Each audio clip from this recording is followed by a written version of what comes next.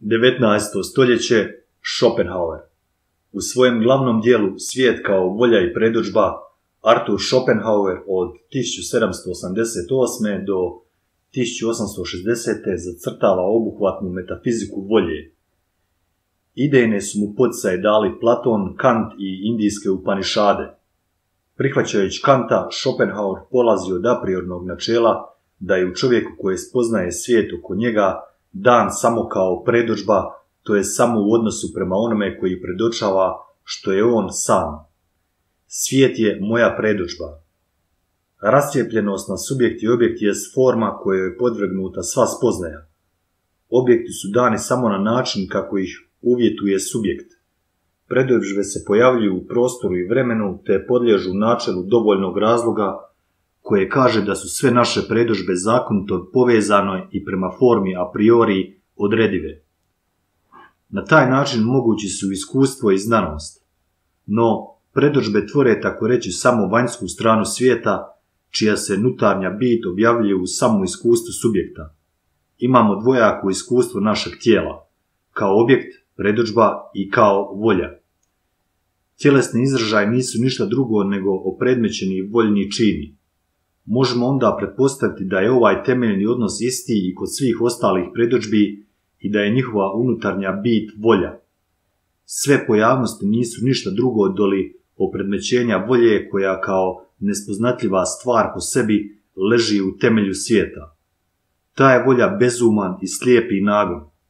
On se nikad ne smiruje, već trajno teži oblikovanju. No, budući da sve što ga snalazi u njegovu nastojanju jest on sam, sa sobom je u borbi iz koje proizlaze stupnjevi opredmećenja. Na najnižem stupnju prirode on se manifestira u fizikalnim i kemijskim silama, na organskom stupnju kao životni poriv, nagon za samoodržanjem i spolni nagon. Konačno, kod čovjeka se pojavljuje um koji po sebi tupa volju stvara kao svoje oruđe. Predožbe koje su pojavljujući se u prostoru i vremenu podvrgnute načelu dovoljnog razloga tvore samo posredna opredmećenja volje. On se neposredno opredmećuje u idejama koje su kao uzor u temelju pojedinačnih stvari. Ideje za jedan subjekt imaju formu predmetnosti, ali nisu podvrgnute načelu dovoljnog razloga. One su vječne, nepromjenjive forme svih pojava koje su koje u svojoj mnoštvenosti iz njih proizlaze po principu u pojedinjenja u prostoru i vremenu. Promatranje ideja moguće je samo u čistom bezinteresnom predanju u kojima se subjekt oslobađa svoje individualnosti i nestaje u objektu. Ovaj način spoznaje jest izvor umjetnosti. Genij je sposoban predati se idejama i iz toga stvarati svoja djela. Poseban položaj pritom zauzima glazba. Ona nije odraz ideje, nego samo volje. Osnova je Schopenhauerove etike razlikovanje empirijskog od intelektualnog karaktera.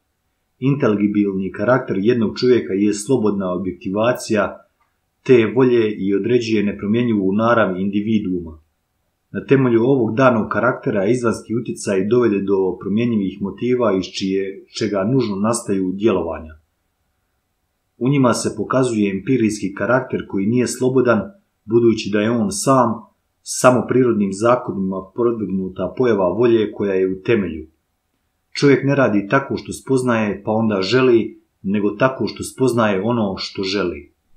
Budući da čovjekova djela nužno proizlaze iz njegova karaktera, za Schopenhauera je besmisleno postavljati etičke zakone. On se stoga ograničava na opis onog što treba poštivati kao moralno. Temelj morala je samilost.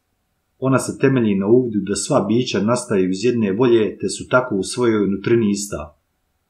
U drugome vidim samog sebe, u tuđoj patnji gledam svoju vlastu.